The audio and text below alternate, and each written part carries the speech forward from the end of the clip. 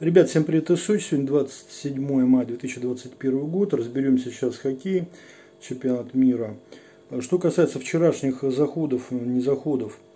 Значит, Вильяреал, Манчестер Юнайтед. Я что обе забьют. Вот, дальше. Я предположил, что Манчестер возьмет кубок, но не взял. А, но он и не проиграл в основное время. То сказал, берите двойной шанс. Двойной шанс, там, пускай был бы рубль. Ну, я, кстати, поставил рубль 23, у меня зашло. Значит, вчера у нас все ставки опять зашли. Хоккей вечерние матчи мы брали 4,5 э, больше дуплетом, а, то есть двойничком, и там по 6 шай, по-моему, было в каждом. То есть эта стратегия работает. Я говорил во вчерашнем прогнозе, что дневные матчи меньше 5, в одном было 5, в другом меньше 5. То есть 5,5 меньше. Значит, э, два вечерних 4,5 больше. Так и вышло, даже 5,5 больше. То есть вчера опять мы по лесенке плюсанули. Впервые наша лесенка превысила 5000 рублей. Значит, вчера я смотрел весь матч Реал Манчестер, смотрю, борьбы практически нет, фолов мало, берем фолы в первом тайме меньше 11, они начинают тут же фалить. То есть на 13 минуте был всего один фол, я беру фол 11 меньше, они начинают фалить, фалят, фалят, я беру 12 меньше. Вот, в итоге они получают, по-моему, всего 8 фолов, то есть фолы заходят, при том, что Вильяреал забил гол. Вот. И я говорю в перерыве в группе, что сейчас будут грузить на Кавани, Кавани забьет. Ну, так и вышло. Сообщение в сеть могу отправить, кому интересно. Э, когда, уже было понятно, что они согласны все на ничью. И дальше была ставка моя на то, что Вильяреал по пенальти пройдет. Почему? Потому что я всегда говорю так, там, где негры, они пенальти забивают плохо. Плохо. И вот, э, значит, исходя из этого, потому что там половина негров у Манчестера было. А, но уже они пробили по 10 пенальти, и вот 11 пенальти били вратари друг другу. Испанец забил этому, а англичанин не забил. Еще почему все-таки Вильяреал взял кубок? Смотрите, Манчестер так имеет путевку в Лигу чемпионов. Вильяреал не имеет. У него седьмое место, конфи, Лига конференции. То есть ему нужна была вот эта Лига чемпионов, он ее взял. Это один фактор. Второй, все-таки фактор тренера решающий. Все-таки Сульшер – не такой уж опытный тренер. Пару лет он, по-моему, тренирует Манчестер Юнайтед. Все-таки это его первый клуб. Он раньше, по-моему, где-то норвежский какой-то тренировался, не ошибаюсь. Он же сам норвежец, да. То есть он ученик Фергюсона, но пока еще ничего не выиграл. И, ну и тут и не проиграл. Но кубок они отдали. И третье соображение, все-таки Вильяреал это испанская команда, которая э, решила доказать, что они что-то могут в этой жизни. А Манчестер все-таки это негр, вот которым им вообще они демотивированные люди. Я жил в Англии, я знаю, что такое. Я жил полгода в доме, э, где было 8 негров и я один. Ребят, я знаю, что, о чем я говорю. Да. Я их знаю как облупленных. Причем это были негры из Африки, которые из разных стран которые между собой общались в основном на суахили, потому что суахили это такой вот, как вот СНГ это русский язык, а у них суахили это такой международный африканский язык. И ну, практически все они были мусульмане. Ну, такие разного разлива. Такие неортодоксальные. Но при этом они бухали, там все, все как положено. Вот это отдельная тема. Поэтому я, я поставил э, Вильяреал проход за рубль 97, и это зашло. То есть последняя ставка. Значит, таким образом все ставки вчера зашли. И хоккей, и всего 7 было событий, они все сыграли. Вот, значит, э, ставлю по 50 рублей, объясняю почему. Потому что мне так легче нажимать на кнопочку, я тут же скидываю в группу. Группа ставит то 500, то 1000, все заходит. Заходы очень хорошие. Давайте теперь все-таки к хоккею вернемся. Поэтому э, хотите быть в плюсе, просто вступайте ко мне в группу, просто в лайве отслеживайте мои ставки, которые я даю каждый день по несколько ставок. По футболу где-то 70-75% уже приближаются проходы, по баскетболу 85% проходы и заходы. Значит, э, отчет у меня по лесенке был в конце апреля, я снимал статистику. Сейчас надо опять садиться, но это часа полтора-два, сейчас просто нет времени, работаю над книгой, заканчиваю книгу. У Нарилаги называется «Архипелаг ГУЛАГ», продолжение Александра Солженицына, четвертый том. Он три написал, я написал четвертый, потому что я сам из Норильска. Итак, США, Латвия. Вот смотрите, здесь, э, я думаю, Латвия ну, проиграет, это понятно. Э, но коэффициенты-то маленькие, да на США дают 1.43. Почему США победит? Во-первых, США не, не входят в четверку. Им надо войти в четверку. Это американцы. Американцы всегда делают результат. Это первое соображение. Латвия пока идет в лидирующей четверке. Вот, 7 очков у США 6. То есть США должно подвинуть. Но Латвия понимает, что завтра игра с Норвегией. Вот если они сейчас косьми лягут против США и все равно проиграют, и все равно проиграют. А завтра норвежцы, понимаете. А у норвежцев 3 очка, поэтому норвежцы будут рвать и метать, потому что им надо, во-первых, себя обезопасить от вылета, потому что там у них не исключено будут еще какие-то говнотерки там за пятые, восьмые там места, чтобы кто-то вылетел, не вылетел. Вот, поэтому Латвия, скорее всего, американцам отдаст. И, значит, э, у норвежцев будет брать. Поэтому победа США за 1.43 э, я вижу вполне играбельный такой коэффициент нормальный. Я же сказал, что Швеция обыграет Швейцарию. 7-0, ребята, я обосновал и объяснил, да. Вот. И я думаю, что Латвия меньше двух голов. Или там, ну уж не знаю сколько там. Потому что ну, нет никакого смысла латышам напрягаться там. И вообще дневные матчи как-то вот э, надо посмотреть, сколько голов забьют они. Если будет 10 голов в первых дневных, значит, во-вторых, меньше 10 и наоборот говорил об этом много раз. То есть я разбираю по турнирной стратегии, кто играет не только вот между собой, но и завтра с кем. То есть как, как они должны распределить силы по трассе, как они идут по трассе. Только я рассказываю, больше никто. Поэтому подписка, лайк. Вчера, вчера наш канал набрал, перешел рубеж 2000 э, подписчиков и пошел дальше, уже 2004. Большое спасибо всем за, за доверие. То есть да, еще немножко о моем канале. У меня вот относительно моих подписчиков и просмотров, у меня очень высокий процент. Вот у меня смотрят там видео от 300 до 500, иногда 800 бывает просмотров, там Лига Чемпионов, там, например, э, при том, что всего 2000 подписчиков. У других, например, 50 тысяч подписчиков, а просмотров тысяча полторы. То есть в процентном отношении у меня э, целевая аудитория, она самая активная. То есть меня смотрят одни и те же постоянно. И постоянно люди прибавляются. Это первое. Второе. Удержание аудитории у меня одно из самых высоких в YouTube в формате «Говорящая гола». Мой канал относится к формату «Говорящая гола». Я просто говорю, рассказываю. 9 минут я удерживаю аудиторию. Во-первых, среди всех прогнозистов у меня самые длинные ролики. Они самые информативные, самые объемные, самые обучающие. То есть я рассказываю все, что знаю, не скрывая. Не беру за это денег. Поэтому э, вступайте ко мне в группу. Единственный доход, который я имею, это моя группа и Молбет. Прошу прощения. Переходите по ссылке, закрепленной в комментариях. Но это мои официальные партнеры. Получайте промокод мой персональный. И как только вы зашли в MLBet, вам дают фрибет. Ну, насколько вы пополнили на 19 тысяч, значит, настолько и пополнят вам фрибет. У меня один из самых высоких э, фрибетов э, в MLBet вообще. 19 тысяч. Вы можете получить, если вы 19 тысяч поставите. И потом просто отыграйте. Ну, там условия, я не буду говорить, я не знаю, честно говоря, какие там условия. Потому что самому мне в MLBet играть нельзя. Вот такие вот условия.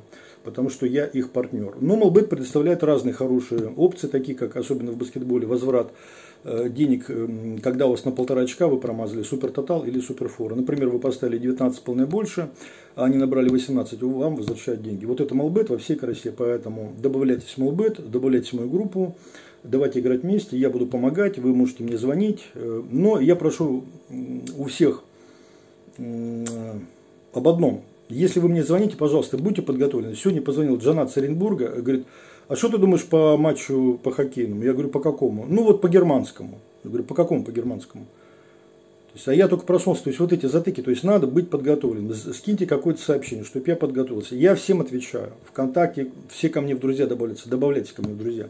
Итак, Швейцария, Словакия. Мы смотрим, во-первых, кто когда играл. Швейцария рубль 90 на них э, дают. Швейцария последнюю игру проиграла Швеция 0-7, а Словакия выиграла у России. Словакия вообще три матча подряд выиграла на чемпионате мира у Белоруссии, у Великобритании и у России. Ну, практически, можно сказать, одной ногой она обеспечила себе уже э, место а, в составе. Но, понимаете, выиграть у Беларуси и Великобритании это как бы ни о чем. Хотя белорусы почему-то хлопнули латышей.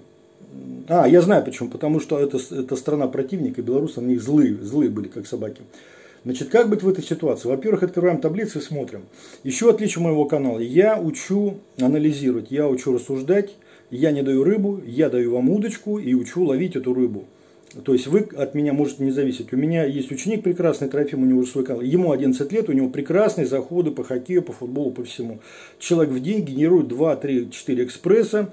Э, вся группа их берет, оплата после захода. Поэтому, если вы хотите каждый день у себя иметь на игровом столе 2, 3, 4 уверенных двойника-тройника, просто вступайте ко мне в группу за 250 рублей, просто получаете эти двойники-тройники, просто их ставите. Если они заходят, вы платите там какие-то, скажем так, э, цена билета в кино. Сказать. Все. Вот так мы работаем. Плюс моя группа, значит, я, я ставлю 50 рублей, вы 500, там, 1000, сколько, кто сколько может. Там. Вот. При этом вы мне можете вообще ничего не присылать. Вот серьезно абонентская плата 200 рублей в день, значит, и так далее. Словакия, Швейцария. Словакия идет на первом месте, Россия тоже 9 очков, Швейцария на третьем, Дания на пятом. Вот. Ну, как ни странно, Швеция и Чехия на последних местах, но это только начало. И, значит, мы должны понимать э, концепцию вообще швейцарцев, что они хотят, с кем они будут дальше играть. Вот они были лидеры, да, и вот мы открываем календарь. У них предстоят впереди тяжелые поединки. Значит, вот сейчас они играют со Словакией, а следующая игра с Россией. И понятно, что две игры подряд они не выиграют. Потом Словакия. Э, четвертую игру подряд тоже вряд ли выиграют у Швейцарии. Хотя такие товарищи Словакии достаточно непредсказуемы, как и, как и любые славяне. Я их на футбол вообще не люблю брать. Вот этих словаков, чехов там каких-то, да. Вот. И дальше у Швейцарии такая история. Словакия, Россия, Беларусь, Великобритания. И Словакия, в общем-то, понимает, Швейцария понимает, что она может спокойно проиграть Словакии, спокойно проиграть России и потом обыграть просто Беларусь и Великобританию. Но не факт. Вот я бы, честно говоря, в этом матче бы не, не брал бы ничью победу здесь. Вот. Но, э, значит, как быть? Как быть? А быть очень просто. Так как Словакия на первом месте, то мы просто нажимаем теперь на Словакию и смотрим календарь Словакии. Если Швейцария набирает там в последних двух матчах с Великобританией и Беларусью свои очки, то э, Словакия надо смотреть, с кем они набирают или не набирают.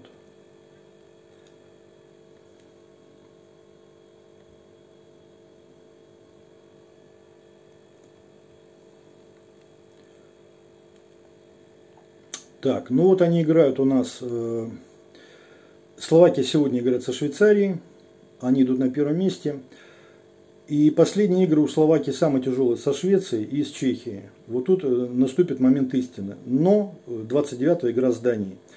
А, поэтому я думаю, что вот Словакия-Швейцария здесь будет очень упорная борьба и победа одной из команд, наверное, в одну шайбу. Вот как-то так вот, или ничья, или какая-то. Хотя это не плей-офф, это не полуфинал никакой, да, но это принципиальная игра, потому что они борются за место под солнцем.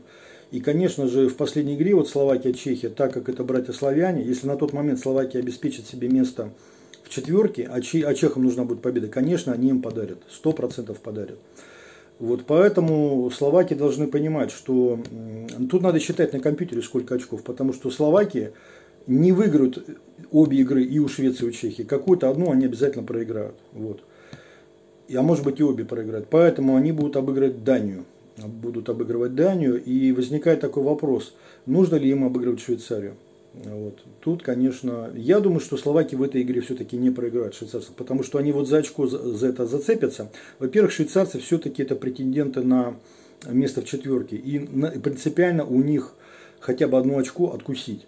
Вот. Датчан они обыгрывают, набирают они по итогу, значит, э, там система какая-то непонятная, по 3 очка сейчас за победу, да, 13 очков получится, если очко со Швейцарией. Вот. И потом спокойно сливают Швеция и, и Чехия. И спокойно с четвертого места идут в плей-офф. А там уже они дальше будут разбираться сами.